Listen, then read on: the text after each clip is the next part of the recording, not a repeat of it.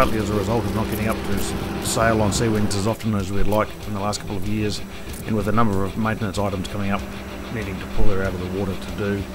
And the logistics of trying to do that remotely, we decided it was time to put SeaWings on a truck and bring it down to Featherston where we live so we can get into the, the, the, the more serious maintenance items close to home.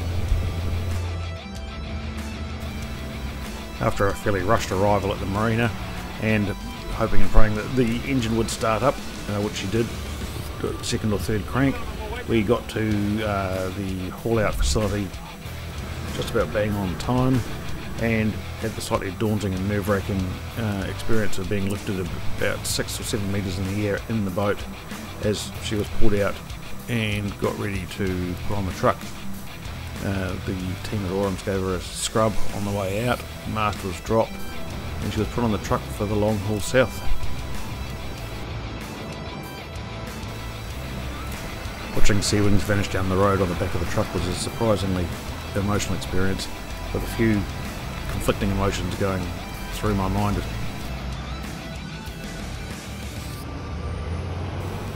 After briefly catching up with SeaWings in the truck hauling yard, we headed 700k south to home and got cameras set up in anticipation for her arrival. With a fairly snug entry to the uh, area where she's being stored, we had to make some minor modifications, um, but in the end the truck arrived and made it through the gate with at least inches to spare.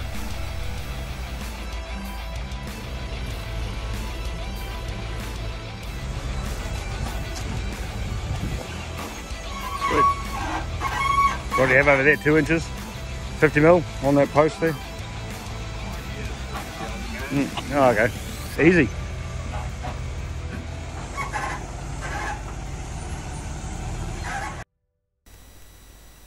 The boat haulers team quickly got SeaWings into position ready for the Hiab to lift her off.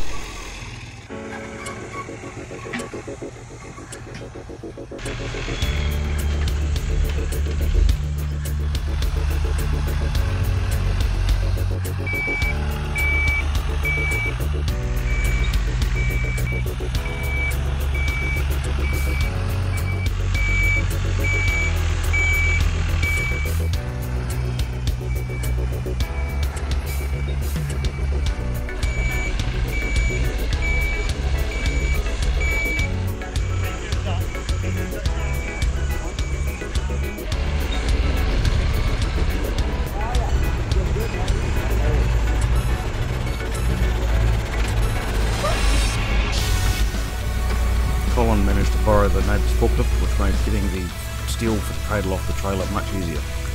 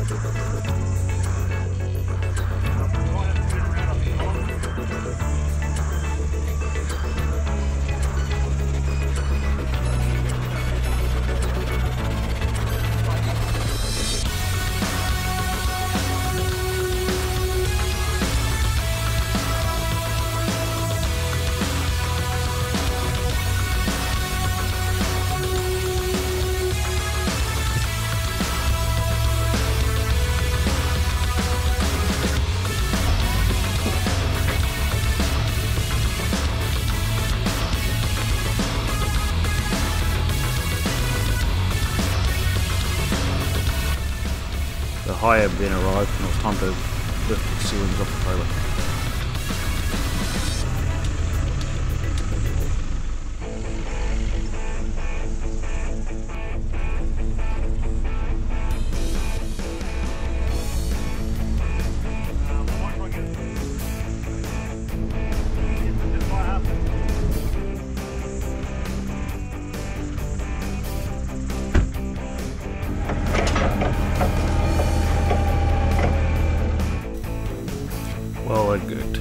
Preparing for the lift, we were doing our best to get the cradle together to put wings in.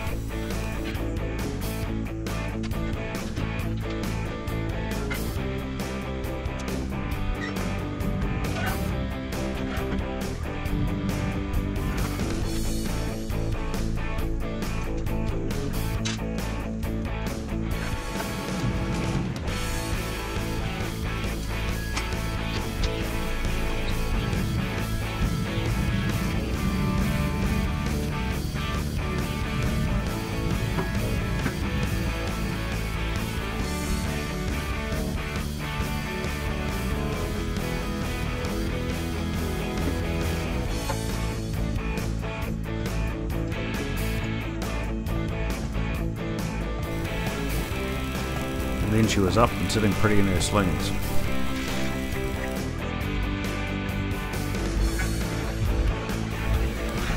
This freed the boat haulers team to get their truck out and take it up ready to go over to Wellington to pick another boat to head northward.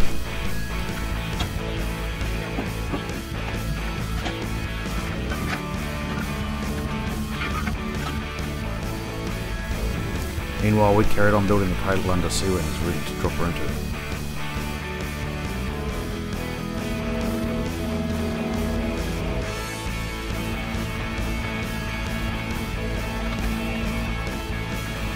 Here's where the project got a little out of kilter, where when SeaWings rotated slightly her slings, you can see it's slightly crooked, which actually made it very difficult to get it to stand in the cradle properly. We had to try and re-sling several times and juggle in the cradle to get it to a reasonably vertical position.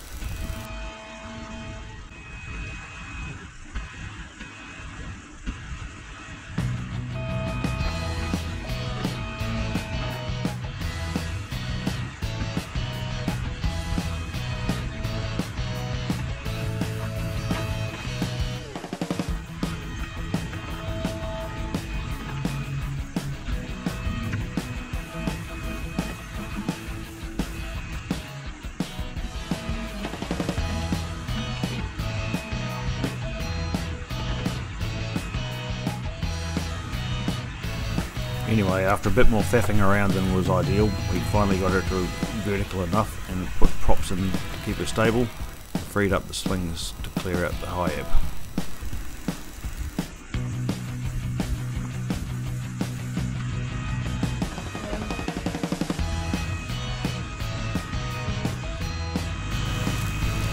Then we dropped the mast and boom down to ground level and she was pretty well snug.